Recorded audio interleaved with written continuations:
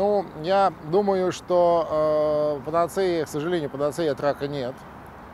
Э, есть э, разные методики профилактики э, и лечения тех или иных э, раковых э, заболеваний.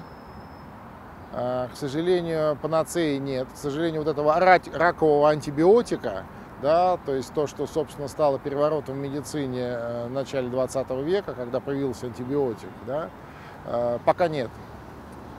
А Почему вокруг этого столько